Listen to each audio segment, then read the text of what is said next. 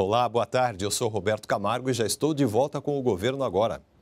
O plenário do Senado concluiu na tarde de hoje a votação em primeiro turno da proposta de emenda à Constituição da nova Previdência. O texto precisa agora ser votado em segundo turno para promulgação. A reforma foi aprovada depois de anos de vários governos e hoje, com vários destaques, mais de 10, nenhum passou prova maior da nossa vitória. Então, por favor, celebrem o Brasil, que a reforma da Previdência vai dar um novo futuro, uma nova esperança ao nosso povo. Muito obrigado.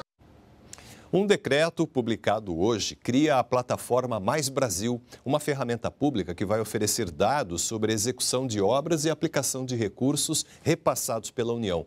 O novo sistema vai trazer, por exemplo, valores de convênios, contratos e parcerias públicas firmadas. São dois grandes objetivos. Né? Um é ganho de produtividade, uma vez que a gente coloca todas as modalidades numa única solução. Isso facilita todo o fluxo de é, é, repasse, aplicação e prestação de contas desses, desses recursos, né?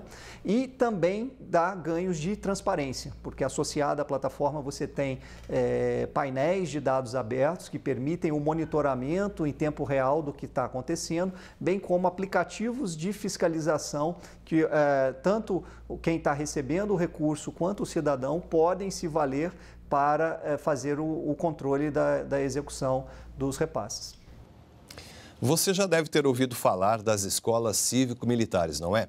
A meta do governo federal é instalar 200, 216 instituições nesse formato compartilhado até 2023. O número de escolas cívico-militares em todo o país vai aumentar. 15 estados e o Distrito Federal aderiram ao programa do governo federal que incentiva a implantação do modelo.